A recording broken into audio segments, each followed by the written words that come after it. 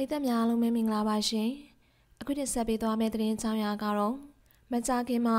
ဥတေစာရဲ့သားအငယ်ဆုံးနဲ့မင်္ဂလာလက်တွဲတော်မယ်ဆိုတဲ့အကြောင်းပြောကြားလာခဲ့တယ်တရုတ်ဆောင်ဝင်းမုံရွှေရဲ့သတင်းအပါအဝင် တခြားနုပညာသတင်းကြောင်းရာတွေကိုစူးစီးတင်ဆက်ပေးသွားမှာပဲဖြစ်ပါတယ်တရုတ်ဆောင်ဝင်းမုံရွှေကြီးကတော့မြန်မာနိုင်ငံရဲ့ထိပ်တန်းကျယ်ပွင့်တလက်ဖြစ်ပြီးအကယ်ဒမီဆုကြီးတွေပိုင်ဆိုင်နိုင်တဲ့အထိဒိတ်ဒိတ်ကျယ်အောင်မြင်ခဲ့သူတစ်ယောက်ဖြစ်ပါတယ်။ တရုတ်ဆောင်ဖွေးဖွေးနဲ့ညီမဝမ်းခွဲတော်ဆက်သူဖြစ်ပြီးအခုလက်ရှိအချိန်မှာတရားဝင်ချစ်သူချပြခြင်းမရှိပဲအချစ်ရေးနဲ့ပတ်သက်ပြီးနှုတ်ဆက်နေခဲ့သူလည်းဖြစ်ပါတယ်။ဝမုံရွှေကြီးဟာအဆိုတော်ဆက်ဆိုင်ခန့်လိုက်နဲ့တရားဝင်တွဲခဲ့ကြပြီးတဲ့နောက်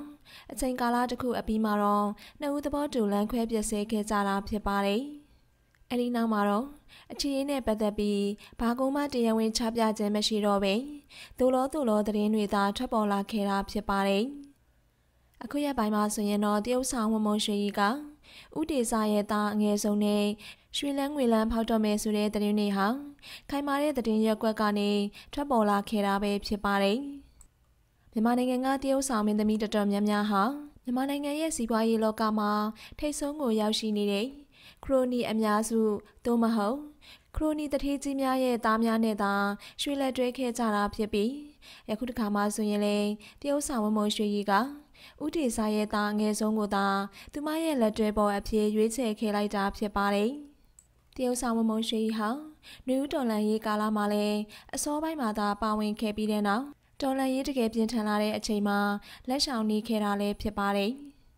အဲ့ဒီကလေးကဝမုံရွှေကြီးဟာစစ်တပ်အတိုင်းဝိုင်းနဲ့ဆက်ဆက်နေလို့သာတော်လိုင်းရေးမှာပါဝင်ခြင်းမရှိခဲ့တာလို့သတင်းတွေစတင်ထွက်ပေါ်လာခဲ့တာဖြစ်ပါတယ်။အခုဆက်လက်တင်ဆက်ပေးသွားမယ့်သတင်းကြောင်းရာကတော့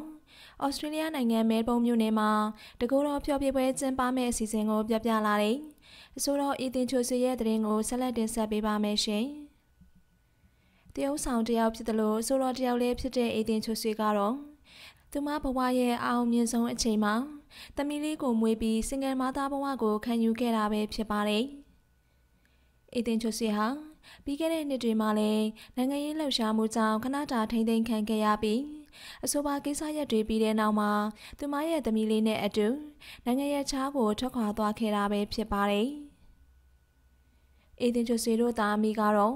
အခုဆိုရင်ဩစတြေးလျနိုင်ငံမှာနေထိုင်နေလျက်ရှိတာဖြစ်ပါတယ်။ ဒီနေ့လေးမှာတော့အီတင်ချိုဆွေကဩစတြေးလျနိုင်ငံမဲဘုံမြို့မှာပြုလုပ်မယ့်သူမရဲ့တကူတော်ဖျော်ဖြေပွဲအတွက် Hello December အခုလာမယ့်ဒီဇင်ဘာ16 2020 Friday မှာမဲဘုံမှာပြုလုပ်မယ့်အင်းသင်းရဲ့ music show လေးကိုလာရောက်ဖို့မဲဘုံမှာရှိတဲ့မြန်မာပရိသတ်များချစ်မိတ်ဆွေများကိုဖိတ်ခေါ်ပါရစေ။ဩစတြေးလျကိုရောက်ပြီးမှပထမဦးဆုံးပြုလုပ်ကျင်းပတဲ့ပွဲလေးဖြစ်ပါတယ်။ အသေးစိတ်သိချင်ရင်တော့စုံစမ်းမေးမြန်းနိုင်ပါတယ်ရှင်ဆိုပြီးသူမရဲ့ Facebook စာမျက်နှာကနေမျှဝေလာခဲ့တာပဲဖြစ်ပါတယ်။အီတင်ချိုစီကတော့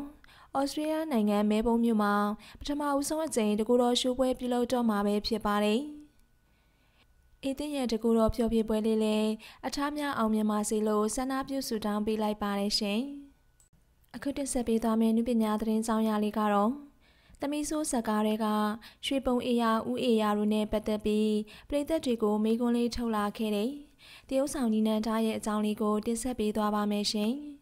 ။တရုတ်ဆောင်ညီနန်းသားကတော့တခက်တခါကဗီဒီယိုဇလန်းတွေမှာပါဝင်တရုတ်ဆောင်ရင်နာမည်ကြီးနေရရလာခဲ့သူတယောက်ဖြစ်ပါတယ်။ညီနန်းသားဟာအခုလက်ရှိအသက်အရွယ်တကူရောက်ရှိလာချိန်မှာတော့စီးပွားရေးလုပ်ငန်းတွေကိုလုပ်ကင်လာခဲ့ပြီး တစ်ဖက်မှာလည်း live ဆေးရောင်းချခြင်းကိုအချိန်ပေးလုပ်ကင်နေခဲ့တာပဲဖြစ်ပါတယ်။လက်ရှိမှာလည်းညီနန္ဒာဟာစကားတွေကိုဆက်လက်ရိုက်ကူးနေတာဖြစ်ပြီးသူလှုပ်ရှားရှိတဲ့အလုပ်တွေကိုလည်းအချိန်ပေးလုပ်ကင်နေခဲ့တာဖြစ်ပါတယ်။သမီးဆိုးဇလန်တွေလေးနဲ့ပြည်သက်တွေရဲ့အားပေးမှုကိုရရှိနေတဲ့ညီနန္ဒာကဒီနေ့လေးမှာတော့သူနဲ့သမီးဆိုးဇလန်တွေမှာတားအဖဖြစ်တရုပ်ဆောင်ထားတဲ့ထထထုံရဲ့ပုံရိပ်လေးကိုမျှဝေလာခဲ့က အဖေနဲ့သမီးဘသူပို့ဆိုးလဲအမတ်တရစကားလေးတစ်ခွန်းလောက် please ဆိုပြီးမိကုန်းလေးထုတ်လာခဲ့တာပဲဖြစ်ပါတယ်တရုတ်ဆောင်ညီနန်းသားကတော့သမီးဆိုးစကားတွေကရွှေပုံအေးရဖခင်ဖြစ်သူဦးအေယာတို့နဲ့ပတ်သက်ပြီးဘသူကပိုဆိုးလဲလို့ဆိုကပရိသတ်တွေကိုမေးခွန်းထုတ်လာခဲ့တာဖြစ်ပါတယ်။အခုလက်ရှိသမီးဆိုးဆိုတဲ့ဇလန်တွဲလေးကိုကြည့်နေကြတဲ့ပရိသတ်ကြီးအနေနဲ့ကော ညီနန္ဒရဲ့မေးခွန်းလေးကိုဖြေကြားပေးခဲ့ပါအောင်ရှင်။အခုတခါမှဆိုရင်တော့စစ်ကောင်စီရဲ့လွတ်လပ်ရေးနေ့အကြိုပရိသတ်ကပွဲပြဆက်မှာပါဝင်ဆင်နွှဲခဲ့ကြတဲ့တရုတ်ဆောင်ဆွမြတ်သူဆောင်တရုတ်ဆောင်မေတန်းနုတရုတ်ဆောင်ရအောင်တရုတ်ဆောင်ရဲအောင်နဲ့မိသင်စာဦးတို့ရဲ့အကြောင်းကိုတင်ဆက်ပေးသွားမှာပဲဖြစ်ပါတယ်။ပြီးခဲ့တဲ့နိုဝင်ဘာလ26ရက်နေ့မှာတော့နေပြည်တော်မြို့တော်ခမ်းမရှိလဟာပြင်ကဆက်ရုံမှာ 85နှစ်မြောက်စရတုလွတ်လပ်ရေးနေ့ပြည်သားကပွဲကျင်းပပြုလုပ်ခဲ့တာပဲဖြစ်ပါတယ်။အဆိုပါပြည်သားကပွဲကိုအာနာသိန်းစစ်ကောင်ဆောင်မင်းဟောင်းလိုင်းနဲ့တက်ရောက်ခဲ့ပြီးအနုပညာရှင်တွေကလည်းအဆိုပါဖျော်ဖြေပွဲမှာဖျော်ဖြေခဲ့ကြတာကိုတွေ့ရပါတယ်။ထိုပရိသတ်ကပွဲမှာတော့ဒါရိုက်တာကျော်စောလင်းအတွေ့ပုံရိပ်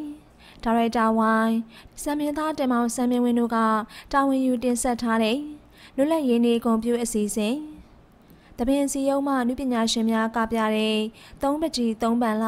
အပြိုတော်ကြီးဆက်ဒေသန်ရှင်ကေတုဝင်းထဒေသန်ရှင်တမ်းမြတ်ဆိုရွှေထိုက်တို့ကတီဆိုဖျော်ဖြေခဲ့ကြကပျော်ရွှင်ခြင်းအိမ်ပြဆက်မှာတော့တရုတ်ဆောင်ရဲအောင်တရုတ်ဆောင်ရဲအောင်တရုတ်ဆောင်ကြော်ရဲအောင်တရုတ်ဆောင်စိုးမြတ်သူဆောင်တရုတ်ဆောင်မေတင်စာဦးအမတီဗီဖုန်းမှတရုတ်ဆောင်မုံဟာသားတရုတ်ဆောင်ငိမ့်ချမ်းဟာသားတရုတ်ဆောင်တိန်းတောင် စိုးတီဟာနွဲ့နွဲ့ဆန်းတဲ့အမေများအဖွဲအမတီဗီဖုန်းမှပရက်ဇန်တာဟောင်းတေစာကျော်မေတင်းကိုတို့ကပါဝင်ခဲ့တယ်လို့သိရှိရပါတယ်ဆရာနာသိမ်းမှုဖြစ်စဉ်မှာတချို့သောနုပညာရှင်တွေကရုပ်ရှင်အစည်းအရုံးကနှုတ်ထွက်ခဲ့ပြီးတချို့ကလည်းတောခိုခဲ့ကြသလိုစစ်တပ်ထောက်ခံသူတရုတ်ဆောင်တွေကတော့အယောင်ဆောင်ဆန္ဒပြခဲ့ပြီးတဲ့နောက်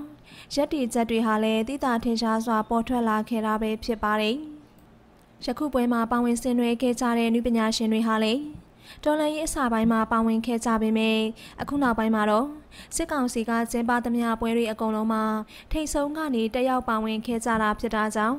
ပြည်သက်တွေရဲ့မုန်းတီးမှုကိုလည်းခံနေကြရတာပဲဖြစ်ပါတယ်။ဆက်လက်တင်ဆက်ပေးသွားမယ့်သတင်းကြောင်းရာလေးကတော့ အနုပညာလောကမှာပျောက်ကွယ်နေခဲ့ပြီးအမားဖြစ်သူစင်တီရဲ့မင်္ဂလာပွဲမှာမှာ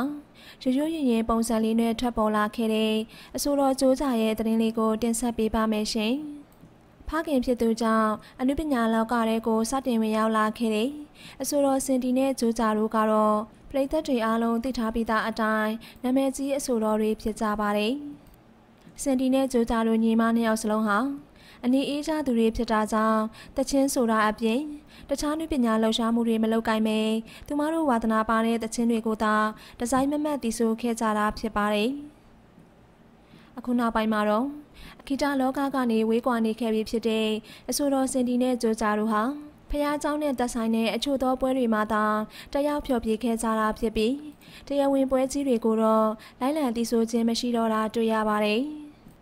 သူတို့ညကိုချစ်ကြတဲ့ပရိသတ်တွေကတော့နှစ်ယောက်စလုံးကိုတချင်းပြန်ဆိုဖို့တိုက်တွန်းခဲ့ကြပေမဲ့လေ။သူတို့နှစ်ယောက်ကစတိတ်စင်ကိုကြောက်တက်သူတွေဖြစ်တာကြောင့်စင်ပေါ်မှာတချင်းဆိုဖို့အစီအစဉ်တော့လုံးဝမရှိတော့ပါဘူးလို့ပြည်သက်တွေကိုပြပြတသားပြောကြားလာခဲ့တာလည်းဖြစ်ပါတယ်။ပြီးခဲ့တဲ့နိုဝင်ဘာလ12ရက်နေ့မှာတော့အဆိုတော်စင်ဒီဟာသူမရဲ့ချစ်သူနဲ့လက်ထပ်ခဲ့ပြီးမိသားစုဘဝတစ်ခုကိုတည်ထောင်ခဲ့တာပဲဖြစ်ပါတယ်။စင်ဒီရဲ့မင်္ဂလာပွဲကို ညီမဖြစ်သူဂျိုးဂျာကလည်းတက်ရောက်ခဲ့ပြီးဂျိုးဂျာကတော့သူမရဲ့ပုံစံလေးအတိုင်းရိုးရိုးရှင်းရှင်းလေးဝတ်ဆင်ပြီးတက်ရောက်လာခဲ့တာကိုအခုလိုမြင်တွေ့ခဲ့ရတာဖြစ်ပါတယ်။ကျိုးကြနဲ့စင်ဒီတို့ညီမနှစ်ယောက်စလုံးကတော့ဘဲချိန်ကြည့်ကြည့်မြင်တဲ့သူရင်ကိုအေးချမ်းစေသူလေးတွေလည်းဖြစ်ပါတယ်။ပရိသတ်ကြီးလည်းကျိုးကြရဲ့ချစ်စရာပုံရိပ်လေးတွေကိုကြည့်ပြီးသဘောကျနှစ်ထိုက်မယ်လို့မျှော်လင့်မိတာကြောင့် ချစ်စရာပုံရိပ်လေးတွေကိုတဆင့်ပြန်လဲဖော်ပြပေးလိုက်ရပါတယ်ရှင်။